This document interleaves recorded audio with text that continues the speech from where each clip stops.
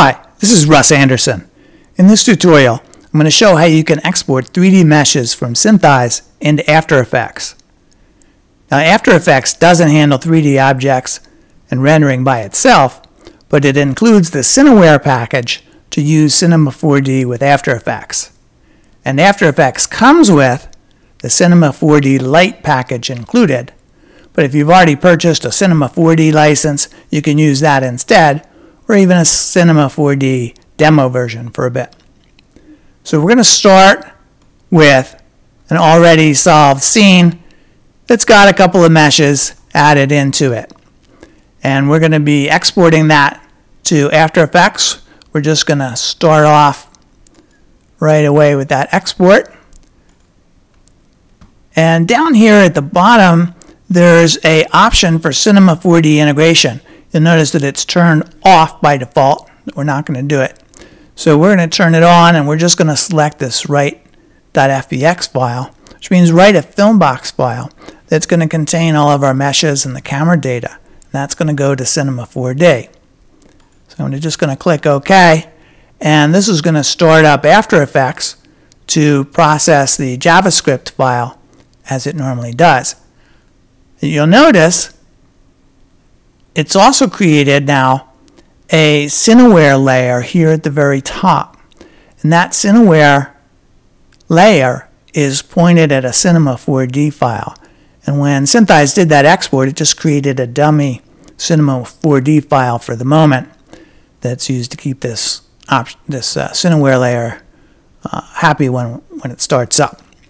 So we need to go and fire up Cinema 4D and you can only start up this Lite version from within After Effects. That's just a licensing restriction between Maxon and Adobe. So here's the dummy empty file that SynthEyes created. So we're just going to select that and overwrite it for the moment. And we're going to wait for Cinema 4D Lite to start up. And give me a second while I adjust the positioning a little.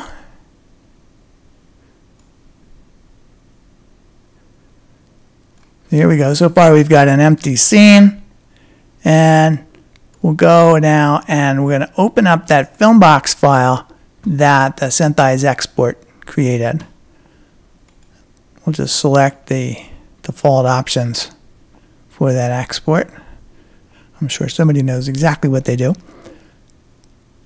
Here we now have our objects and our camera path and the trackers available inside of Cinema 4D. In order for After Effects to be able to see it, we need to save it away. So we'll save it. Now we're going to be just overwriting our empty dummy file. And if we flip back over to After Effects, you'll see that after a little bit, After Effects notices that that Cinema 4D file has changed.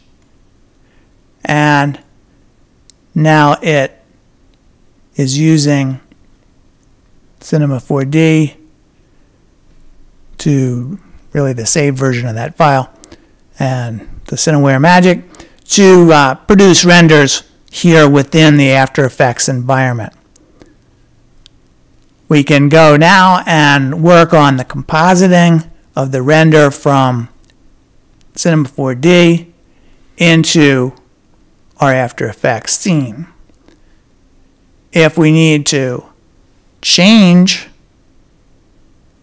the scene, we can go back to Cinema 4D and now start doing things here. Probably we're going to put want to put some actual texturing onto these things. Maybe we're going to want to blow them up, whatever. We can do that all inside of Cinema 4D.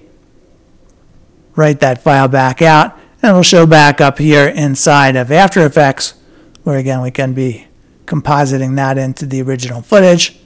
And you know, we do have all the trackers here available to use as reference within either the After Effects or the Cinema 4D environment. Now, we do have to be a little bit careful on what we're doing here.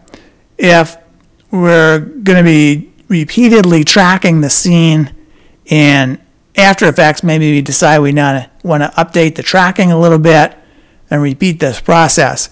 If you've gone and improved your Cinema 4D file, you don't want to be overwriting that. So when you export out of SynthEyes, you can turn on an option that says don't overwrite that Cinema 4D file. And then inside of Cinema 4D, you can simply import the Filmbox file with your existing Cinema 4D stuff and, and sort out exactly what you want to do in there. Now we also have the option here of being able to start up the different packages at the time of export. SynthEyes can, can do that. Now, as I mentioned, the Cinema 4D Lite can't be started up by SynthEyes. It has to be done within After Effects. The other two options, the, the regular full license, that can be started by SynthEyes, as can the demo version.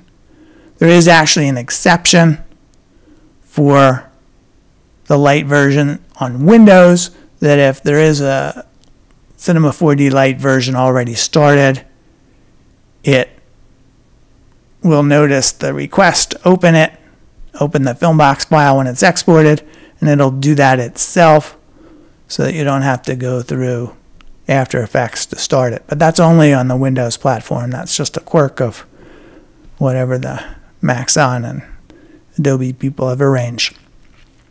So you do have the, the, the option to have these things start up automatically uh, if you have especially the, the full version, which is the most useful case.